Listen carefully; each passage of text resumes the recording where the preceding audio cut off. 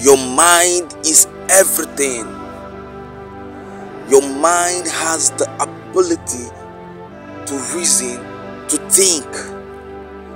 The mind is also able to store information, information, vital information, and making it also ready for you for use whenever you require.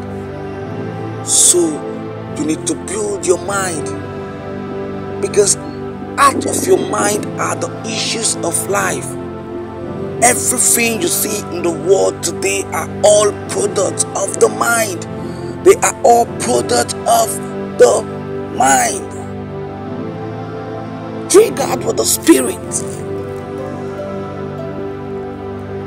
As a man thinketh in his mind, so it is. The cars we're driving today, the handsets we're using, the inventions, aircraft, everything you see in this life today are all product of the mind. So there is nothing the mind cannot do or create. Now it depends on you. Now it depends on you. Your mental picture will determine your actual future. What you're seeing right about now determines what you're gonna be in the nearest future. So you have to be careful of the kind of thoughts your mind generates. As you move, there must be difficulties. There must be difficulties. There are times that things won't be working the way you wanted it. But all you need to do is to keep moving. It will be very, very bad when you quit. Quitters never win. Quitters never win. Quitters never win. All you need to do is to keep moving. Because life is in process. The mind has the ability to give you any comfort you ever desire in your whole time life. The way you think about it, that is the way you see it in the reality. And you also have to be careful of the kind of friends you choose. At times, the friends around you can generate bad thoughts for you also and mind is very very sensitive. The mind acts just like a magnet. It captures if you don't want it it goes. But if you want it and anything the mind captures and wants if you practice them on daily basis you'll definitely see it in your reality let me tell you something closely. Your mind is everything.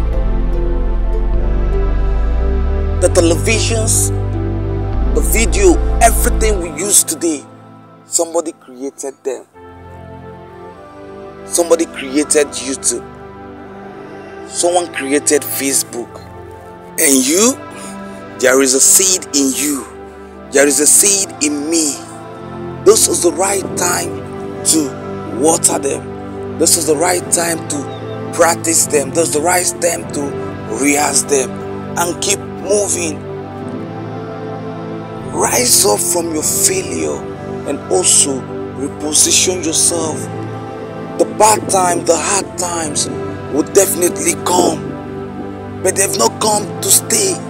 They've come to pass. So just keep moving keep building those potentials that you have in you. Everyone has a seed. Identify it. Identify it. Work on it. Don't you ever wait for capital. Because the capital will never come. Start with anything you have. Start anywhere you are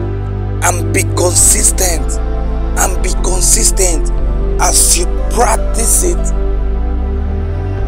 you go it you, you, you go higher on daily basis on it. And look look for a place to showcase it also. Don't just practice it. Look for a platform. Maybe either a social media platform or you can even create a platform for yourself bring them out. It might be business. It might be anything. You can